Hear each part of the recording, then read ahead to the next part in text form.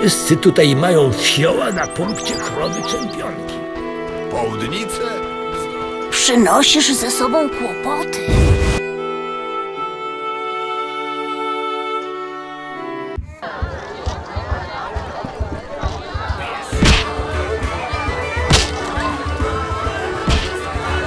Źle się czuję. Zjadłem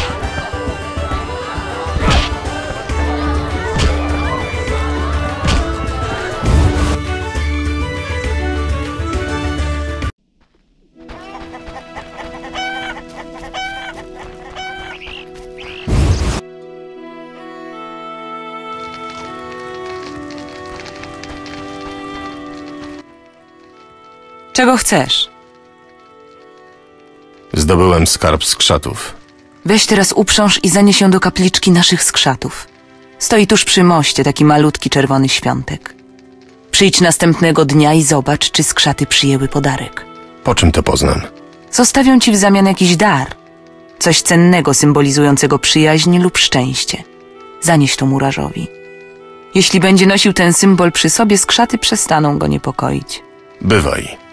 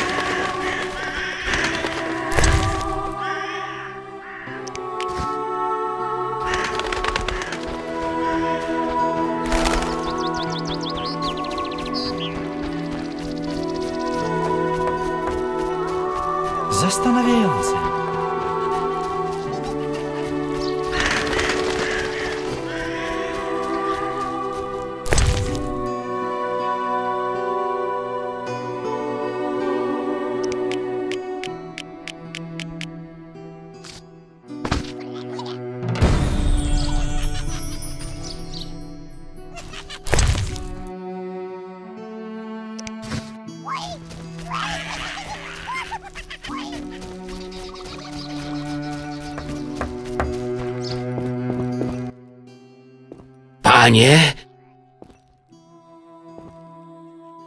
Dogadałem się ze skrzatami. to z nimi da się dogadać?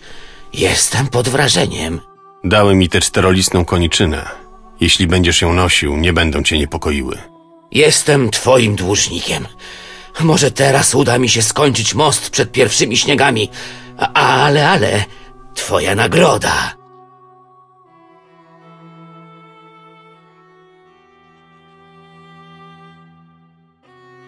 Opowiedz mi o wszystkich nagrodach.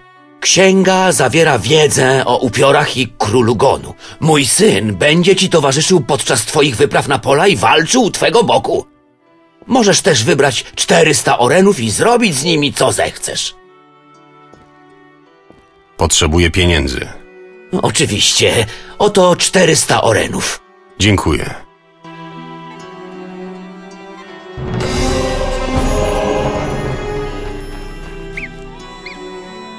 Co by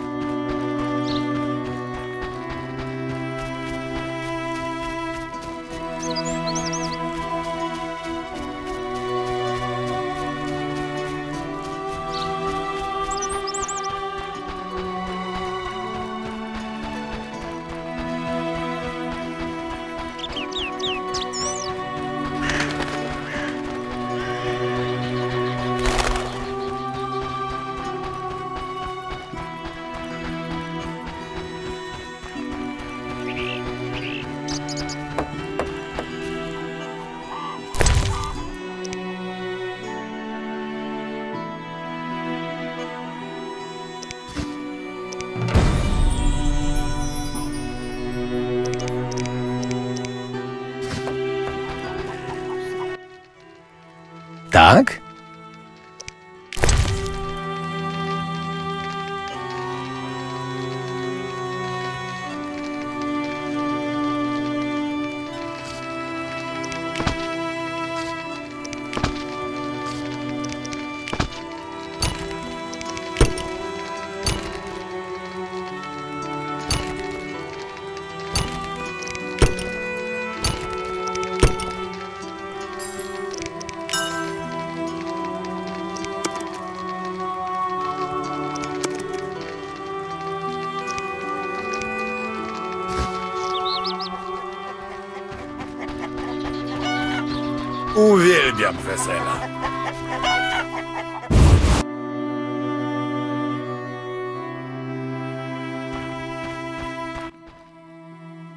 Moster dzieju? Przychodzę w sprawie ogłoszenia. A prawda, prawda, ogłoszenie. Co tam dla mnie macie? Pięć zębów Alpa. Tak stało w ogłoszeniu. Ależ one paskudnie wyglądają. Proszę, oto obiecane złoto, Moster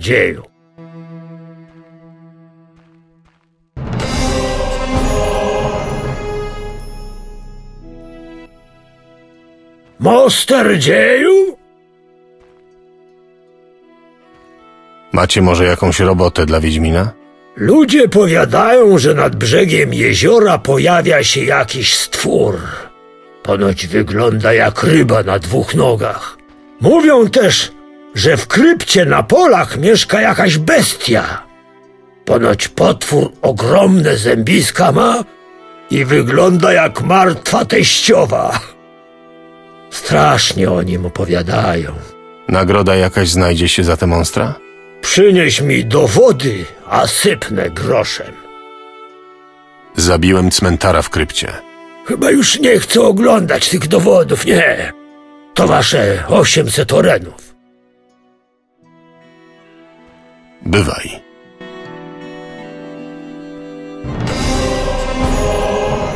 Stary już jestem.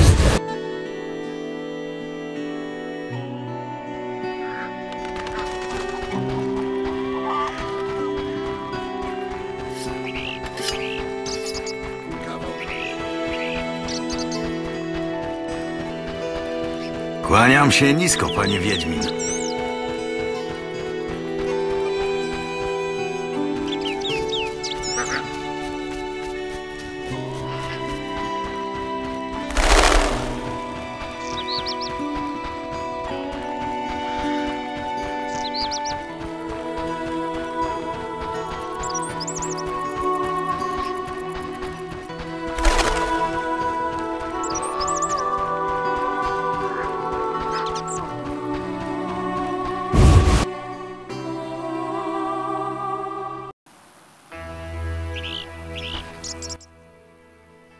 Słucham? Bywaj.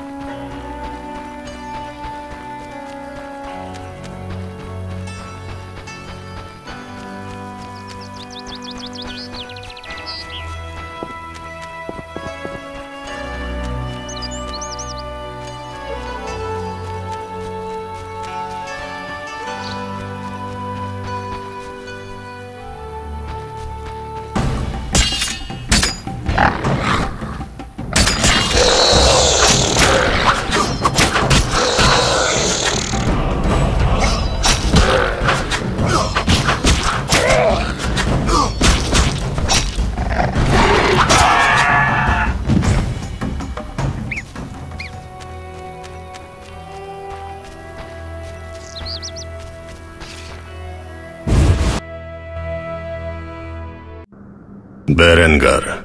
Tajemniczy Wiedźmin Wyrzutek. Nareszcie go znalazłem.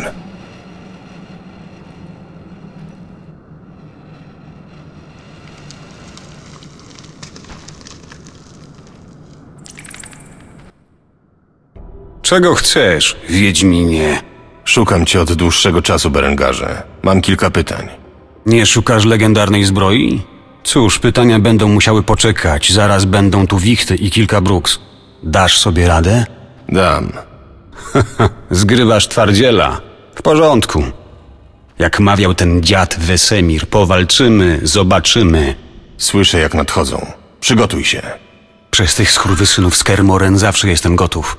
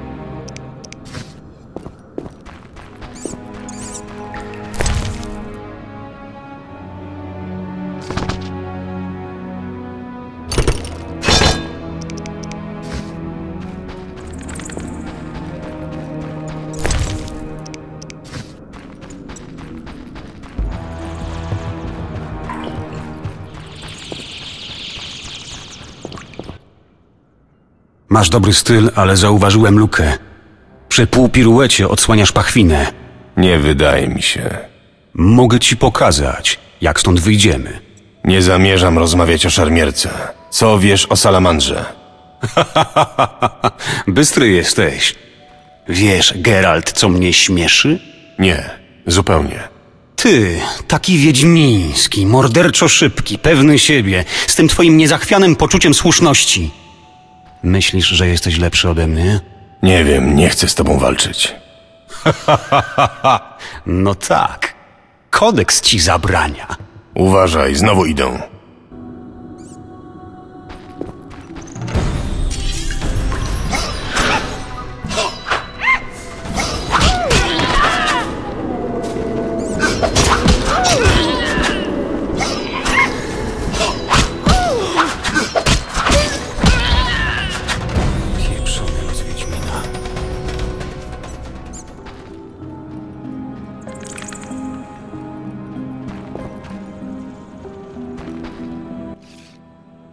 Ech, łatwo poszło. Berengarze, nie dam się zabić kilku alpom. Nie unikniesz rozmowy ze mną. Skąd pomysł, że zechcę rozmawiać? Zmusisz mnie? Nie miałem takiego zamiaru. Liczyłem, że... Skoro jestem Wiedźminem, to na pewno się dogadamy. Dla mnie jesteście takimi samymi łajzami jak magister. Tylko ty jesteś bardziej zakłamany. Czyli współpracowałeś z salamandrą. Nie powiedziałem tego. Uważaj! Cholera.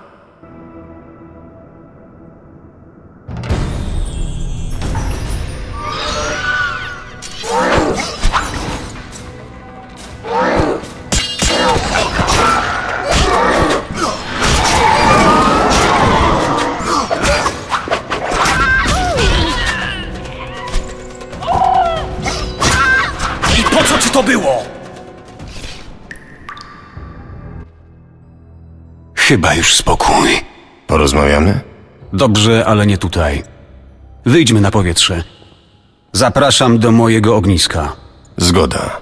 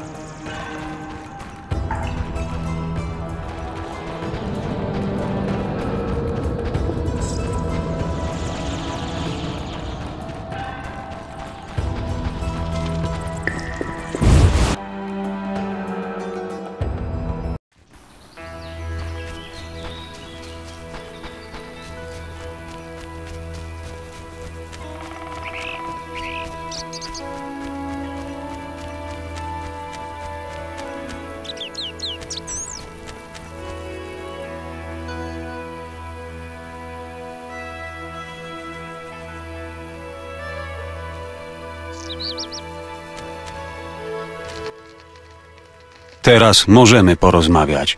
Mam wiele pytań, ale może zacznę od początku. Opowiedz mi, co łączy cię z salamandrą. Niech stracę. Cóż, historia jest prosta. Nigdy nie byłem bohaterem. Znaleźli mnie jakiś czas temu i magister złożył mi propozycję nie do odrzucenia. Rozumiesz? Pomagasz nam, albo podamy ci twoje własne jajka do zjedzenia. Nienawidziłem ich, bo przypominali mi was, Wiedźminów. Też nie dali mi wyboru. Stałem się wyrzutkiem w dwójnasób. Najpierw Wiedźmini poddali mnie mutacjom, potem magister zrobił ze mnie przestępcę. W każdym razie uciekłem przy pierwszej okazji. Nie wyciągnęli ze mnie żadnych cennych informacji, nie kupili mnie. I tak dotarłem tutaj. Odnoszę wrażenie, że nie powiedziałeś mi wszystkiego. Jesteś nieskończenie przenikliwy. No cóż, jest jeszcze coś. Salamandra chce dopaść Alwina, nie wiem po co, ale jest dla nich ważny. Wysłali mnie tutaj, bym go odnalazł. Nie mam jednak takiego zamiaru. Zarobię trochę grosza i wynoszę się stąd na dobre. Zatem nie wiesz nic o napadzie na Kermoren? O skradzionych wiedźmińskich recepturach? Nie. Mam tylko jedną prośbę. Trzymaj się z dala od Elwina. Tak? Podobno podjąłeś się rozwiązania konfliktu między ludźmi i Wodianoi. Co? Wysłali cię, żebyś odebrał mi kontrakt. Weź go sobie, nie mam nic przeciwko. Jaki kontrakt? Na pogodzenie ludzi i wody Janoi.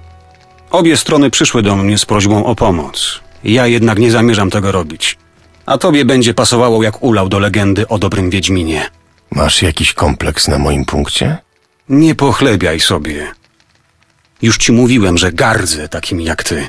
Jakoś to przeżyję. Wracając do tematu. Moim zdaniem trzeba przetrzebić jedną ze stron i będzie spokój. Wspomniałeś o jakiejś zbroi. Nie znasz tej legendy? A myślałem, że każdy mały Wiedźminek o niej słyszał. Opowiedz. Legenda jak to legenda. Mówi o wielkim wojowniku i jego czynach. Nudniejsza niż ballada Jaskra o tobie, a to rzadkość. Ale to jedyny przekaz, z którego można się dowiedzieć o zbroi owego wojaka. A to już jest bardzo ciekawe. Bohater, mimo że nosił pancerz, korzystał z wiedźmińskich technik walki. Czy był Wiedźminem? Nie wiadomo. Brzmi ciekawie. Kruk, bo taki nadano mu przydomek był związany z gnomimi wynalazcami. Gnomy, jak wiesz, przewyższają wiedzą techniczną nawet krasnoludy. W tajnych pracowniach pod górą Karbon powstała zbroja wytrzymała i lekka zarazem. Zbroja w sam raz dla Wiedźmina. Legendarna zbroja. Chyba zabawię się w poszukiwacza skarbów. Ja szukam jej już od dawna. Podejrzewam, że Kruk został w niej pochowany, dlatego włóczę się po cmentarzach i kryptach. Znasz kogoś, kto mógłby powiedzieć więcej o samym pancerzu? Miejscowy kowal jest wynalazcą, zna tę legendę. Jest też elfi zdobmistrz. Pogadaj z nimi, powinni coś wiedzieć. Tak zrobię. Tak? Wiesz, gdzie mogę znaleźć przyjaznego kapłana Wodianoi? Zazwyczaj siedzi przy ołtarzu Pani Jeziora na brzegu. Czasami wyznawcy Dagona przeganiają go stamtąd, ale zawsze wraca. Rozumiem. Tak? Wytknąłeś mi lukę w obronie. Tak. Odsłaniasz pachwiny, dziecko to zauważy. Wiem nawet dlaczego. Dlaczego? Półpiruet wymaga dwóch sprawnych nóg. Miałeś pogruchotaną nogę. Nie mylę się. Możliwe. Tak to już jest. Kto mieczem wojuje, ten od miecza ginie. Bywaj.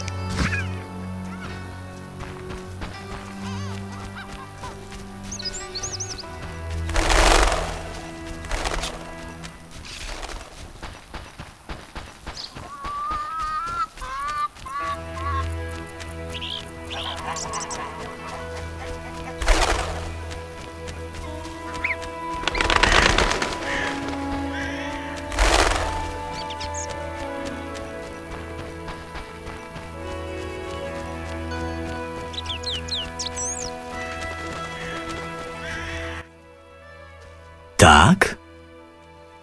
Szukam informacji o zbroi Kruka.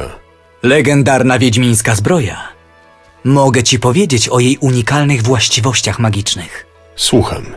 Powstała w gnomich pracowniach, ale wykończeniem zajmowały się elfy. Zbroja Kruka to dzieło mistrza pieśni, Tien Saila. Pracował przez 12 dni bez przerwy, a każdemu ruchowi jego rylca towarzyszyła pieśń mocy. Legenda mówi, że w trakcie walki pancerz śpiewał dla Kruka pieśni o zwycięstwie. Dodawał pewności, uspokajał. Dzięki za informację. Wiesz może, czy są jakieś zapiski dotyczące tych pieśni? Poszukaj w kryptach. Musisz znaleźć grobowiec elfiego mistrza pieśni. Gdzieś w okolicach sarkofagu powinny znajdować się przedmioty związane z życiem zmarłego. Bywaj.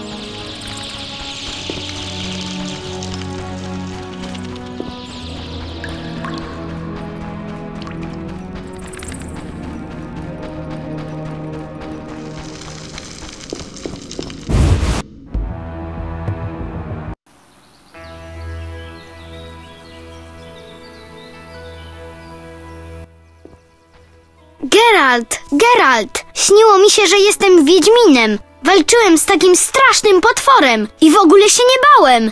To był sen, Alwinie. Poza tym jedynie głupcy się nie boją. Nieprawda. Berengar bał się zabić wielkiego rybola, a ty się nie boisz. Chcę zostać Wiedźminem. Myślisz, że fajnie jest być Wiedźminem? Pewno, ale chciałbym być taki jak ty, a nie jak Berengar. Wiedźmini są silni, nie chorują i niczego się nie boją.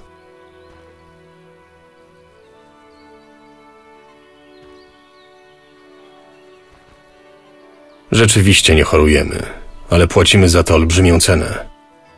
I Jest jeszcze ból. Najgorszy ból, jaki potrafisz sobie wyobrazić. Chciałbyś tak cierpieć? Nie chciałbym. A nie można zostać Wiedźminem bez bólu? Nie. Muszę się zastanowić.